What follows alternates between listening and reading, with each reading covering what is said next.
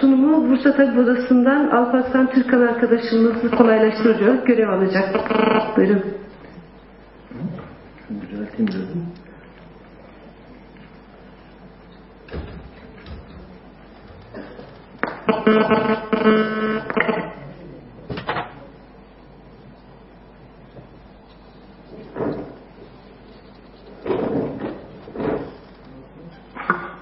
Evet son oturum. Ama herkesin e, çok dikkatle dinlediğini fark ediyorum. Katılımınız için herkese teşekkür ediyorum. Ben e, hep böyle yürütücüler, başkanlar biraz fazla konuşurlar ya, geleneği biraz bozmayayım. Kısa tutmaya çalışacağım ama birkaç şeyin altını çizme ihtiyacı duyuyorum. E, dün e, sevgili konuğumuz Mondi bize demokrasinin ve hukukun olduğu ülkelerdeki kazanımlardan bahsetti. Oldukça sevindik, umutla başladık. Ee, sonra yüreğimize su serpmek için dedi ki bize de sizdeki örnekler var. Yaşanıyor, yaşanabiliyor. Evet bir parça rahatladık. Şimdi altından kalkamayacağımız sorunların e, üzerine gitmenin bir anlamı yok. E, şöyle tanımlanıyor. Askeri kırılmanın anlamı yok. Biz e, asker kırılacak mı? Bu sorunun altından kalkabilir miyiz? Bu bir bu büyük halk sağlığı sorununu çözmek mümkün mü? Basamaklı basamaklı incelemeliyiz. Birinci basamak var olan sorunun farkında olup olmama durumu. Biz sorunun e, farkında mıyız? Farkındayız. E, performanstan bahsedildi, şiddetten bahsedildi, iş güçlüğümüzden bahsedildi, ne kadar e, yorulduğumuzdan bahsedildi. Burhanettin bugünkü sunumunda e, toplumsal karmaşık travma yaşadığımızı mesleki risklerimize ek olarak anlattı ve bunun bir meslek hastalığı olduğunu söyledi. Ben de buna inanıyorum gerçekten. Ee, sevgili Eriş ayrışmadan bahsetti. E, çok önemli bir konu bence bu. Ee, birleşmek gerektiğini, bu sistemi reddetmek gerektiğini kanserli bir üniversite öğrencisinin örneğinden e, söyledi. Gerçekten biz sorunun farkındayız. Birinci başamı basamağı başarıyoruz. İkincisi e, sorun neden yaşanıyor? Bu nedeni biliyor muyuz? Yine erişi atıfta bulunacağım. E, Ardıl üç cümle söyledi. E, bizi hasta, hasta eden nedir lan diye başlayan e, sermayeyi hedef olarak gösterdi. Evet gerçekten diğer konuşmacılar da e, sorunu neden yaşadığımızı çok net ortaya koydular. İkincisinde geçtik. Üçüncü basamakta sorunla başa çıkabilecek yetenek ve olanakların olup olmaması değerlendirmek gerekiyor. Ee, gene Mondi e, şunu söylemişti. Eğer toplumsal bir hareket haline gelirse her sorun açılabilir. E, kişisel deneyimlerimizden de bunu biliyoruz. E, sorunlarla başa çıkabileceğimizi az önce Çetin abi de başardığımızı e, tarihleriyle verdi. Dördüncü basamakta sorunun önemini algılatmak hem çalışanlara hem de topluma mümkün mü? E, Murat'ı hatırlatacağım. Murat e, Eriş'in reddediği şeyi itiraz olarak tanımladı ve dedi ki itiraz etmek zorundayız çünkü biz artık mesleki değerlerimizi koruyamaz hale geldik. Bunun farkındayız. Ee, biz toplumda e, bu kadar fazla odağına insanı almış meslek grubu yok. Odağında insan ya da başka bir meta olabiliyor insanların yaşamlarında. Hekimler ve sağlık çalışanların hepsinin merkezinde odağında insan var.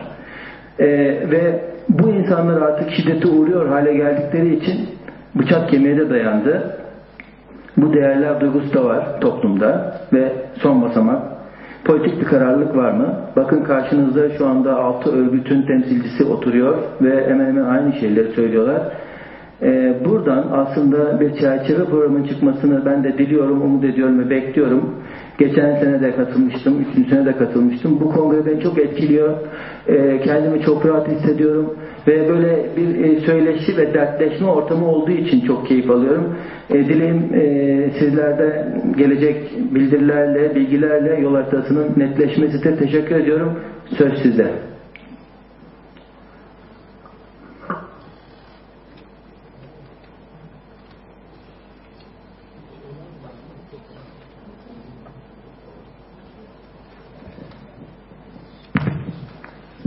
Merhabalar, ben Efter Yıldırım.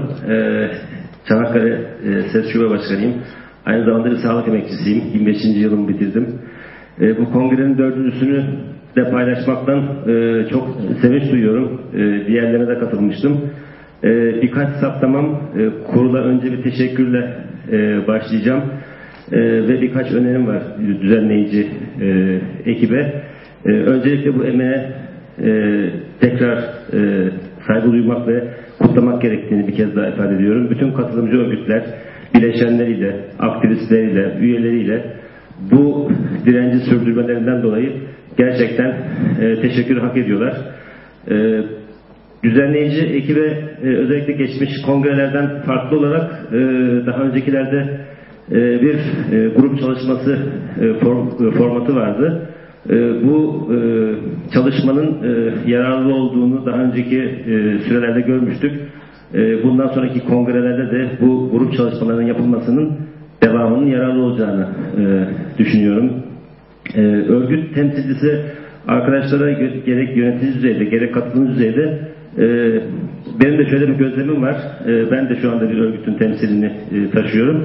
Yalnız geçmiş kongrelerden farklı olarak görebildiğim buradaki e, kongreye e, merkezi örgüt düzeyindeki katılım e, içeriğinin e, biraz az olduğu e, ve e, katılım profilinin, katılımcı profilinin biraz değiştiği şeklinde.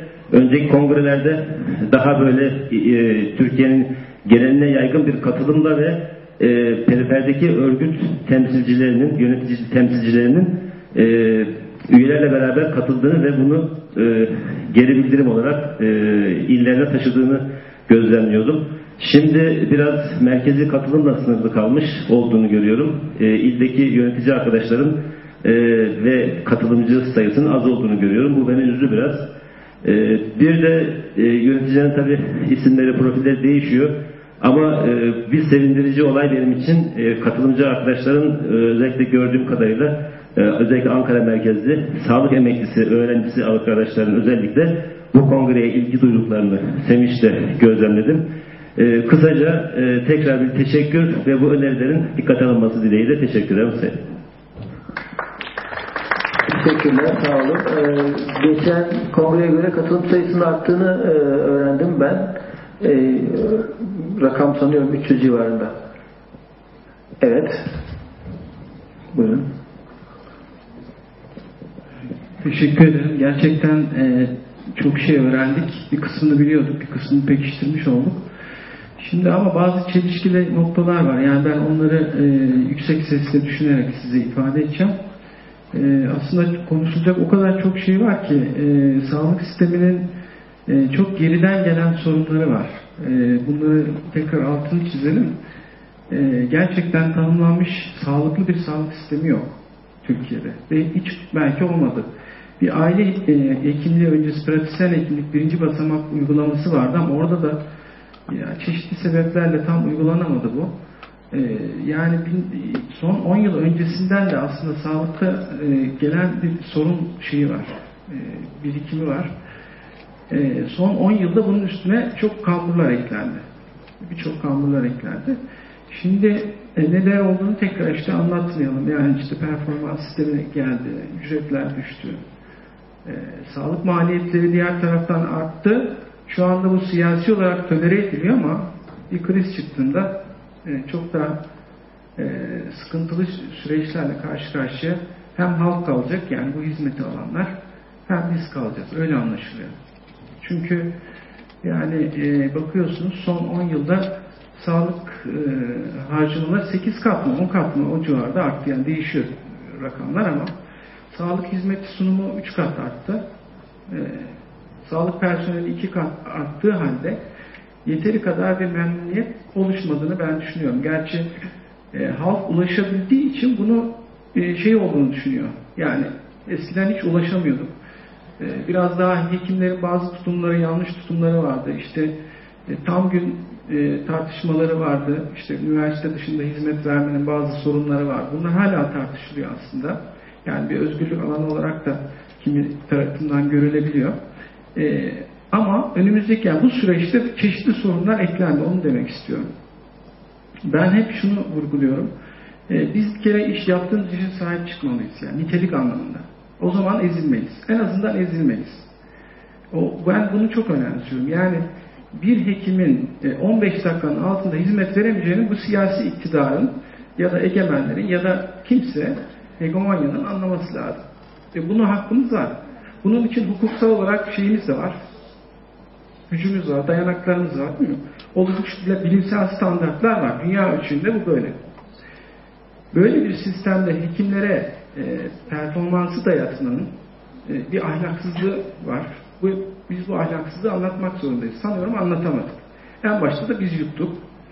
İlk başta görmezden geldik. Bu belki ben şey diyorum yani durup dururken bir e, döner sermaye sistemi çıkmıştı hatırlarsanız. Biz bunun için mücadele etmedik. Kendi kendine sanki verildi diye hatırlıyorum ben. Yani enişten beni niye öptü pozisyonu vardı. E, bu özelleşmenin aslında önünde bir adımdı. Yani sağlık sisteminin özelleşmesinin önünde bir adımdı. Daha sonra performansı da yuttuk. Buradaki üniversiteler nasıl yuttu ben onu anlayamıyorum. Şimdi yani sonuçta kambur kambur üstüne bir sürü şey. Yani bu nitelik ve kalite kaybını getirdi. Tabi ardından yani bir siyasi dönüşüm oldu Türkiye'de. İşte 12 Eylül'ün getirmiş olduğu örgütsüzlük var. Ee, ben buradaki yani katılımı çok yetersiz görüyorum. Şimdi bir Türkiye'de ya da Ankara'da eğer yapılan çalışmada %96 memnuniyetsizlik varsa, geleceğim, gelecekten mutsuzluk varsa buranın tıklım tıklım olması gerekirdi. Eğer mücadele varsa, mücadeleye niyet varsa ama yok. Bakıyorsunuz çok introvert, içe dönük bir şey var. Tamam dediklerimiz çok doğru. Ben iki gündür hiçbirini kaçırmadım ilk toplantı hariç. Onu da son kısmına yetiştim. Çok introvert bir e, şeydeyiz biz. Yani bunca hak kaybına rağmen e, biz anlatamıyoruz şeyi, sorunu. Şimdi iş sağlığı ve güvenliği kanununa bakıyorsunuz. Ya, yani sağlıkta iş sağlığı diye bir şey yok yani. İş, iş sağlığı, yani sağlıklı bir iş modeli yok, tanımlanmamış. Sevk sistemi yok, bilgi aktarımı yok. Bunların hiçbiri yok. Yani özetle kötü bir sağlık sistemi var ve bence sağlık e, sistemi şu anda iflas etmiş durumdadır. Yani bunu anlatmamız lazım. Anlatmaya yönelik bir e, öneriniz var. Önerim şudur. Yani mesela şimdi bakın yani burada çok güzel bir toplantı düzenlendi. Gerçekten çok güzel bilgiler verildi ve ben de çok faydalandım. Çok memnunum katıldığım için. İyi ki de katılmışım. Keşke daha öncekilere de katılsaydım. Yalnız e, böyle bir toplantıyı düzenlerken derneklerin buraya gelmesini siz metodoloji sağlamak zorundasınız. Bütün dernekler gelecek. Gelecekler. Niye gelmediklerine dair bilgi verecekler. Ve aktaracaklar. Şimdi sağlık çalışanlarının sağlığını konuşuyoruz. Niye dernekler yok? Bize hesap versinler. Olmaları lazım. Eğer dernek başkanları bu konuda hesap veremiyorsa o zaman bizim hesap sormamız lazım. Öyle değil mi? Gelmeleri lazım. Şunu demek istiyorum en son. Önerilerim şu olabilir. Yani bizim sorunlarımızı değişik alanlara, siyasi alanlara aktarmamız lazım. Çeşitli siyasi, bütün siyasi gruplar, AK Parti'de gelsin, MHP'de gelsin, BDP'de gelsin. Onları çağırıp bunları anlatmamız lazım. Çünkü sağlık denen şey hepimizi ilgilendiriyor. Onları da ilgilendiriyor. Bakın Amerika yakın zamanda krize girdi. Yani çünkü sağlık sistemi sosyalizasyonunu sağlamaya çalışıyorlar. Şimdi bizim ülkemizde hem kaynağımız çok kısıtlı hem de bir sağlık sistemini böyle e, bir tüketim şeyine dönüştürdük. Yani niteliğini kaybetti sağlık sistemi. Gereksiz bir sürü harcamaya neden oluyor. Ve yakında bu bir krize sebebiyet verecek. Bunu anlatmamız lazım. Bunu yani bundan her bütün yani insanlar, Türk bu ülkede yaşayan bütün insanlar zarar görecek. Bunu bir şekilde anlatmanın bir yolu olması lazım. Ama anlattığımızı ben sanmıyorum. Anlatsak böyle bir yani daha çok farklı yerlerden katılım olurdu diye düşünüyorum. Peki. Ee, mutlaka adreslememiz ve çağırmamız gerekiyor. Mutlaka onlara sağlık sistemindeki sağlık çalışanları sağlığı da dahil bu, bu ülkede yaşayan insanların sağlığının tehlikede olduğunu anlatmamız gerekiyor. Demek ki anlatamamışız. Teşekkür ediyorum katkınız için. Öne. Buyurun. Hocam İç Osmanlı Gaziantep'ten katılıyorum. Gerçekten iki, iki gündür aslında verimli bir e, e, toplantı oldu diye düşünüyorum. Değişik görüşler, e, özellikle salonlu arkadaşlar da görüşlerini paylaştılar e, e, herkesle. E, iyi bir tartışma ortamı olduğu düşüncesindeyim. Şimdi son e, olarak örgütlerin konuşmasından da işte e, niye böyle oluyor, niye sağlık çalışanların sağlığına sahip çıkamıyoruz e, noktasına gelince gerçekten işte bir işçi sınıfı mücadelesi, bir sınıf mücadelesi vermenin gerektiği ortaya çıkıyor. İşte Özge arkadaşımız söyledi, Çetin başkanımız söyledi. Şimdi burada biraz da şey yap, biraz da ne diyelim e, çuvaldızı başkasını biraz da iğneyi kendimize batırmamız gerekir diye ben düşünüyorum. E, burada e, bir taraftan Çetin hocam da dedi işte gezi dirençlerin ruhunu şeye katalım dedi. E, iş yerlerimizdeki mücadeleye katalım dedi. E, gerçekten de belki bu Haziran ayındaki direniş bize bir takım ipuçları veriyor aslında. Verdiği ipucu bence şudur. Yani özellikle demokrasiye ve laikliğe sahip çıkma meselesidir. Aslında Haziran direnişinin öz, özünde yaşam tarzına müdahaleye karşı çıkıştır. Şimdi yaşam tarzına müdahalede de bizim sağlık alanında yaşanan şey ne? Sağlık alanında işte türbanla hasta bakma ve kamu iş yerlerinde türbanın girmesi ve bu buradaki e, ortaya çıkan sonuçlar. Afganistan meselesi. Afganistan'da bugün e, pek çok kadın kadın doğum uzmanı olduğu için hayatını kaybediyor. Bunlar kadınlar e, e, kadın doğum uzmanları, kadın kadın doğum uzmanları e, müdahale etmediği e, hayatını kaybediyor. Bu anlamda e, KESK olarak bir e, bir zaman hiçbir zaman laiklik konusunda bir doğru bir ifadede bulunmadı. 10 yıldır beri KESK laik, laiklik konusunda doğru bir, bir adım atamıyor. TTB e, daha öncesinden 4-5 yıl öncesinde bir takım adımlar attı ama söylem düzeyinde kaldı. Şu anda gerçekten ciddi bir durumda. Yani Türkiye niye Afganistan ve Irak'taki gibi e, böyle bir radikal İslamcı bir e, e, işte, e, bir e, uygulamalar Türkiye'de niye gelmesin? Oraların bir farkımız yok yani. Ben şu anlamda e, bu anlamdaki bu aymazlığı doğru bulmuyorum. Çuvaldızın bir tanesi de e, gerçekten e, biz demokrasiye ve layıklığa sahip çıkma meselesinde 2010 referandumunda yaşadık. İşte buradaki özellikle hem benim e, hem TTB hem de KES ikisinde de bulunduğum teşkilatlar bu arka, e, merkez yönetimleri e, 2010 referandumuna hayır diyemediler. Bu da büyük bir demokraside kırılma noktasıdır. Yani e, madem bir demokrasiye layıklığa sahip çıkacağız e, buna sahip çıkmalıyız. Buna sahip çıkılamadı. E, ondan sonra işte dedik e, bugün e, taşeron işçileri örgütlenemiyor. Bunun, bunu kim sağlıyor? 12 Eylül yasaları sağlıyor. 12 Eylül 2010'daki referandumda 12 Eylül yasalarını daha da takip etmiştir. Yargıda bağımsızlığı kaldırmıştır temel olarak ve e, kamu çalışanlarında da e, işte bize daha önceki kullandığımız hakkı toplu sözleşme hakkı vardır diye şey yapmıştır. Grev hakkımızı göz ardı eden bir, bir uygulama getirmiştir 2010 referandumunda. Buna da doğru bir karşı çıkış kesten olmamıştır. Özellikle kesten olması gereken karşı çıkış gösterilememiştir. Şimdi e, bir de işin diğer tarafı yani 12 Eylül'den önce ne vardı? 61 Anayasası vardı. 12 Mart'ta e, ortadan kaldırılsa bile epeyce bazı yasaları e, bugün işte 27 Mayıs ve arkasına gelen 61 Anayasasıydı. Buna sahip çıkmak zorundaydık. İşte Türkiye işçi sınıfı 15-16 Haziran'da 61 Anayasası'na sahip çıkmıştır. Bugün pek çok yerde işte 61 Anayasası e, falan işte kötü bir anayasa neredeyse böyle nitelendiriliyor. Arkadaşımızın bir tanesi Güneydoğu İlleri Tabi Odası'nda ya 61 Anayasa senden başka sahip çıkan yok dedi. Ee, Adıyaman Tabi Odası Başkanı.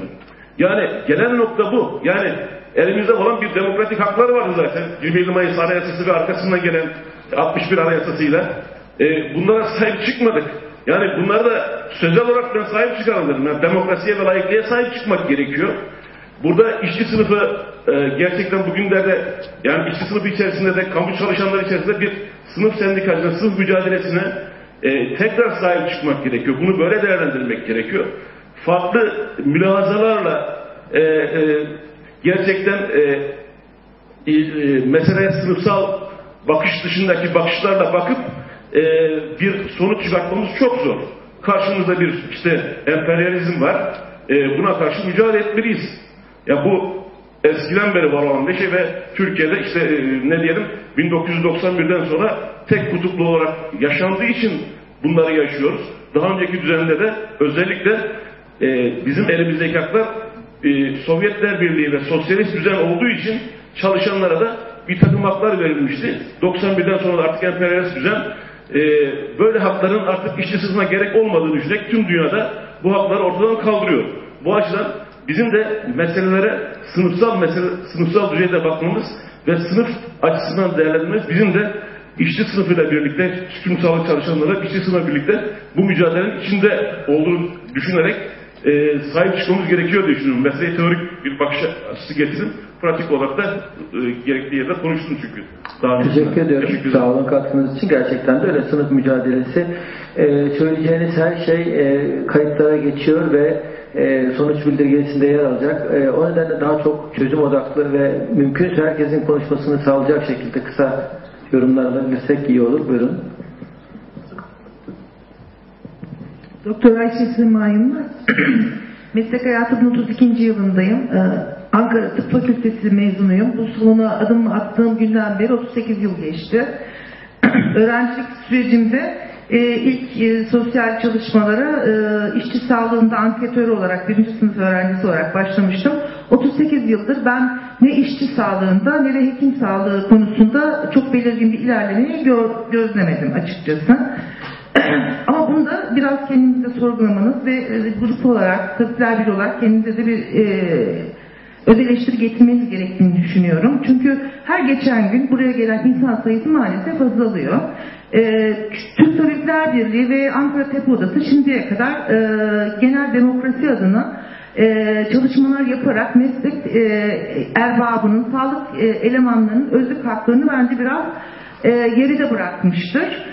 Eğer bundan sonra dayanışma olarak arkanızda insan görmek istiyorsanız benim şah, e, yani nacizane tavsiyem 30, 38 senenin getirdiği bir birikim olarak e, hekimlerin şu anda çok yıprandığını görerek onların yıpranma paylarını bir şekilde e, polislere en azından denk getirerek e, özlük haklarını bir şekilde yıpranma tazminatı şeklinde emekliye yansıyacak biçimde yani bir seneye bir, bir sene bir buçuk seneye olacak şekilde ya da bu çok nöbet tutan insanların nöbet izinlerini bir şekilde e, ya da e, yıllık izinlerini bir şekilde artırarak düzenlemenin arkanıza insan al, almak konusunda fa- faydası olacağını düşünüyorum. Bunun haricinde şu anda mesela süt izinleri kaldırıldı sağlık personelinin. Yani bu konuyla ilgili bir çalışmanız var mı? Haberiniz var mı? Bununla ilgili e, saha çalışmalarınız var mı?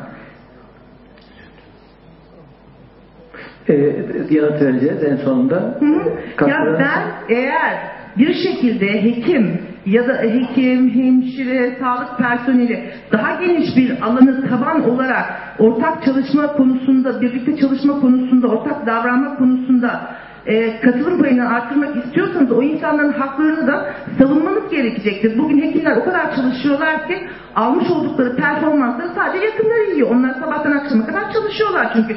Bugün gidip e, hastanelerdeki hekimlere bir sorun bakalım. Kaç tanesi o kazandığı parayı harcayabilir? Ben meslek hayatımı hekim olarak şu anda devam ettirmiyorum. Başka e, uğraşılarla e, şey yapıyorum, devam ediyorum. 20. senede sonlandırmak zorunda kaldım.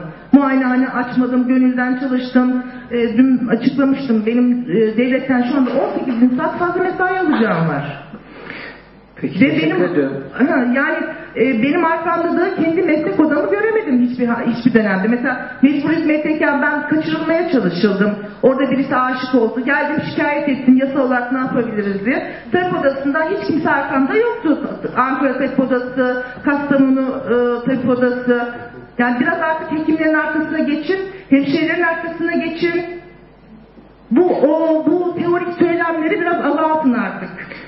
Teşekkürler Öyle katkılarınız için. Arkadaşlarım e, cevap vermesi için onlara söz vereceğim. E, ben bir aktivistim. E, TAP Odası'nın e, yönetimi dışındaki her bölümünde çalıştım. E, kendi adıma cevap veriyorum şimdi size. Ben arkamda hekim e, istemiyorum. Hekimler yanımda olmalı diye bekliyorum. Çünkü ben benimle sizin aranızda hiç fark yok. Biz birlikteyken TTB oluyor. Birlikteyken TAP Odası oluyor. Katılıyorsunuz. Hep beraber yan yana bir şeyler yapmaya çalışıyoruz. Ee, arkadaşlarımıza söz vereceğim. Onlar da cevap verecekler. Şuradan evet buyurun. Ee, Ben değinmediğimiz bir konuya değinmek istiyorum şimdi. Ee, Bu da koruyucu sağlık hizmetleri. Özellikle bir hemşire adayı olarak bu konuya değinmek Kendinizi tanıtır istiyorum. mısınız? Gazi Üniversitesi 3. sınıf hemşirelik öğrencisiyim. Hı. Ee, özellikle bir hemşire adayı olarak bu konuya değinmek istedim. Çünkü bildiğimiz gibi hemşirenin bir görevi de hasta eğitimidir. Yani hastayı hastanede nasıl e, bakım veririz, nasıl tedavi ederiz bunu yapmalıyız elbette ama hastaya yani bir bireye nasıl hastalıklardan korunur, nasıl hasta olmazı da öğretmemiz gerekir.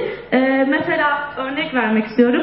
E, taburculuk eğitimi iyi planlanan bir hastanın tekrar aynı şikayetle hastaneye gelmesini engelleyebiliriz ve böylece hastane yoğunluğunu da sirkülasyonunu da azaltabiliriz. Ancak ne yazık ki son 10 yıldır koruyucu sağlık hizmetleri e, öldürülmüş durumda. E, sağlıkta dönüşüm kapsamında da e, performans sisteminin de öngördüğü gibi e, ne kadar çok hızlı e, tedavi uygularız, ne kadar daha çok bakım verebiliriz de eğildiğimiz için bu konular daha çok gündeme geldiği için koruyucu sağlık hizmetlerine ne yazık ki yeterli önemi vermiyoruz. E, Oysa ki gerek hekimler gerek hemşireler gerek diğer sağlık personelleri hastanelerin yoğunluğundan oldukça şikayetçi. E, bu, bu durum koruyucu sağlık hizmetleriyle daha rahatlatılabilir en azından. Ancak aile hekimliği sisteminde hemşirenin özellik alanı e, kısıtlandığından bu durum çok da mümkün olmuyor. Son olarak da şunu söylemek istiyorum. Yine evde bakım hizmetleri de e, istendik düzeyde değil ülkemizde. E, bu konu son zamanlarda özel şirketler tarafından oldukça gün, gündemde ve hani buradan da bir e, para sirkülasyonu amaçlanıyor ve hedefleniyor. Sosyal devlet anlayışına da hiç uymayan bir bakış açısıyla yaklaşmış oluyoruz. Biz Türk Hemşireler Derneği Öğrenci Komisyonu olarak buradayız. E, gençler olarak geleceğe umutsuz bakmıyoruz. Yapabileceğimiz bir şeyler olduğunu düşünüyoruz. İki gündür burada çok umutsuz konuşmalar duyduk. Ama biz çalışmaya ve bir şeyler için çabalamaya devam edeceğiz. Bunu bilin istedim. Teşekkürler.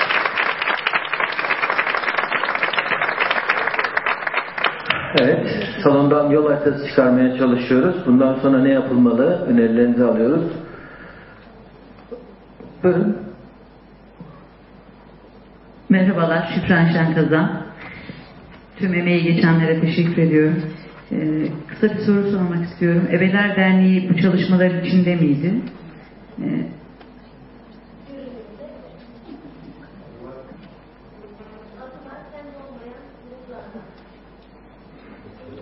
birbirimizi böyle tanımlamak çok e, bana e, güzel gelmedi. Çünkü biz eğer bir örgütle ilgili böyle söylüyorsak birlikte çalıştığımız arkadaşlarımızı kendi ideallerimiz, hedeflerimiz doğrultusunda örgütlememiz daha da zor olur. Bir e, örgütle ilgili bunu konuşuyorsak örgüt bilinci olmayan meslektaşlarımızı bu süreçlere dahil etmemizle ilgili daha kaygı verici bir zaman dilimi bizi bekliyor demektir. Sadece bunu vurgulamak istedim. Teşekkür ederim. Teşekkür ederiz. Sağ olun. Ben de e, hepinizi saygıyla selamlıyorum. Sağlık Emekçileri Sendikası Genel Merkez Yöneticisiyim Hasan Kaldık. E, şimdi iki günlük bir tartışmada şunları gördük. Yani sunum yapan arkadaşlarımızın büyük bir kısmı sorunların nereden nasıl e, geldiğini üç aşağı beş yukarı tarifi yapıldı. Şimdi yapılan tariflerde yani sağlığımızı neler bozduğunu bakıyoruz. Siyasi iktidarlar sağlığımızı bozmuş. Bakıyoruz işte neoliberal politikalar sağlığımızı bozmuş. Bakıyoruz işte halkın sorunlarıyla ilgilenmediğimizden dolayı halkla aramızda sorun gelişmiş, şiddet açığa çıkmış derken yani bütün bunları ortaya koyduk. Şimdi şu çok önemli. Eğer yani demokrasi ile ilgili kurumların söylemi olmayacaksa, eğer demokrasi, demokratikleşme ile ilgili kurumların söylemleri ya da mücadelesi olmayacaksa, kurumlar sadece kendi meslekleri ya da kendi iç sorunlarıyla ilgilendiği zaman o zaman bu ülkenin sorunlarıyla hiçbir şekilde ilgilenemez. Bir adım da alamaz. Dolayısıyla benim bakış tarzımda şu çok nettir. Yani sunumlarda da gördüm.